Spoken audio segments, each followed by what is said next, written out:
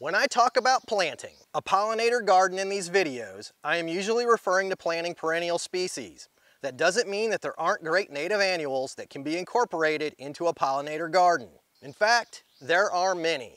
Two of the most striking, unusual, and easy to grow are the common jewelweed, Impatiens capensis, and the pale jewelweed, Impatiens pallida. There are several reasons why these awesome annuals would make a great addition to your pollinator garden, the first being the incredibly eye-catching, large, oddly shaped, brightly colored flowers that tend to draw native plant gardeners to jewelweed. Common jewelweed has beautiful trumpet-shaped orange blooms, and pale jewelweed has similarly shaped but slightly larger flowers that are bright yellow. When either species of jewelweed is in full bloom, it is quite a striking plant. The blooms have another thing going for them. They bloom continuously over a very long blooming season.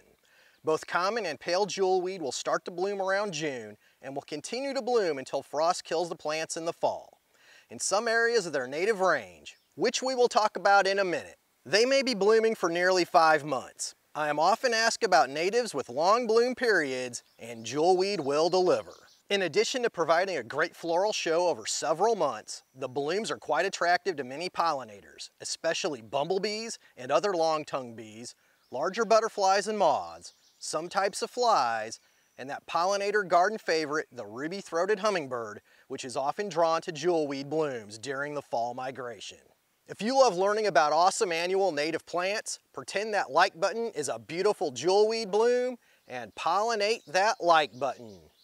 The blooms aren't the only good looking thing about jewelweed. The leaves are also a pleasing shape and shade of green. The deep green, shield-shaped, scalloped-edged leaves of jewelweed add a lot of visual interest to the plants as they grow and before they start to bloom. Once the blooms start, they really stand out against the pleasing green of the foliage. It is a wonderful combination. The leaves are more than just good looks though, and a species of sawfly and several species of moth caterpillars feed on jewelweed as a host plant. The most interesting of these to me are the caterpillars of the pink-legged tiger moth. Not so much because of the caterpillar's looks, but because of what the adult moths they turn into look like. From above, they look like a cute, snow white, fuzzy moth, which is cool. But when viewed head on, that cute white moth looks more like something from a death metal album cover.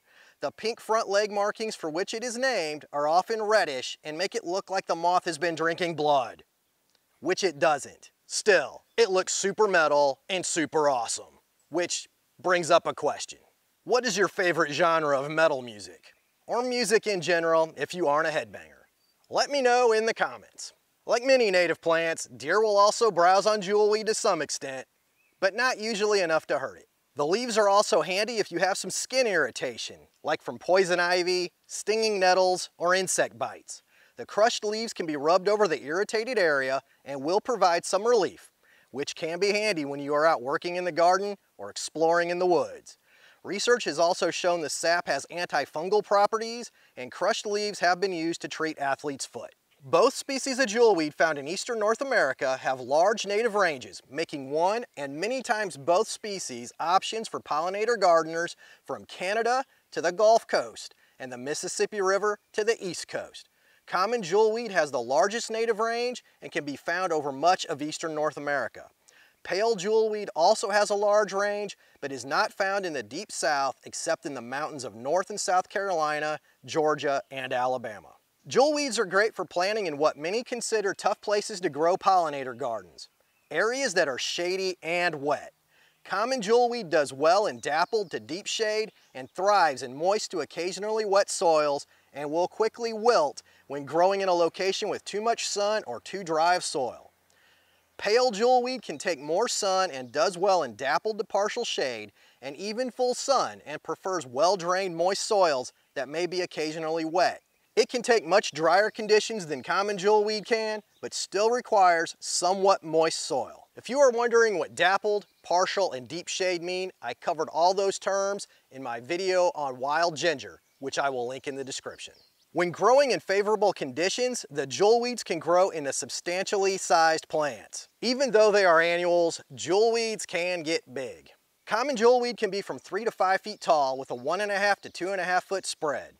Pale jewelweed is similar in size, reaching two to five feet tall with a two to three foot spread. Growing conditions will have a huge impact on the final size of the plants, and I often see common jewelweed growing on marginal sites that is well under three feet tall. I would like to take a second to thank everybody who has supported the channel by subscribing. I really do appreciate it, and it does let me know that the content I am creating is reaching the audience it is meant for. I would also like to give a super huge thank you to all those who support the channel financially through our Patreon, PayPal Donate, and YouTube Super Thanks. The channel would not be possible without you, and we here at Backyard Ecology are truly thankful for you. If you would like to join them in their support of Backyard Ecology, our Patreon and PayPal Donate are linked in the description, and you can give through YouTube Super Thanks by clicking the heart with the dollar sign icon right below this video. Thanks again for the support. Jewelweed will reseed itself and has no problem sustaining a population if the conditions are favorable to its growth. This can be both a good and a bad thing. Good because jewelweed is an annual and would have to be replanted every year if it didn't reseed so well. And bad because the method of its seed dispersal can allow jewelweed to spread beyond where it was intended to grow. Jewelweed produces a good number of seed and it can disperse this seed quite a distance. They were given the genus name Impatiens and their other common name of touch-me-not because of the way their fruiting bodies react to being touched. They basically uncoil rapidly and can fling their seeds several feet. Which of course, it is super fun to poke the ripe seed pods when they're on the plant. Just be aware that once you plant jewelweed, it will sustain itself and may spread from its place of planting if conditions are favorable to its growth. In the wild, it isn't uncommon to find nearly solid stands of jewelweed on high disturbance areas with moist soils, like shady floodplains. A huge plus of its ability to self-seed so well and form a thick stand is that it has been shown to outcompete the horribly invasive herbaceous plant garlic mustard.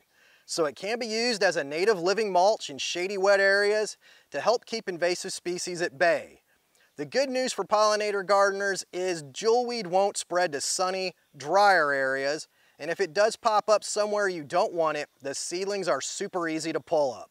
Generally, jewelweed doesn't cause a whole lot of problems due to its soil moisture and shade requirements. All those somewhat large seeds do not go unnoticed by the birds and the critters. Many species of ground-feeding songbirds such as sparrows and game birds like the northern bobwhite dine on the seeds. The seeds are also eaten by a wide variety of small mammals, such as field mice. If you love hummingbirds and have a shady wet area in your yard that you haven't been successful at getting a native pollinator garden established in, jewelweed may be just the plant you are looking for. There is a group of perennial natives that are also loved by hummingbirds, bumblebees, and butterflies that also love moist soil and pair well with the jewelweed, the lobelias. And you can learn all about them in this video and be sure to get out and explore nature in your backyard.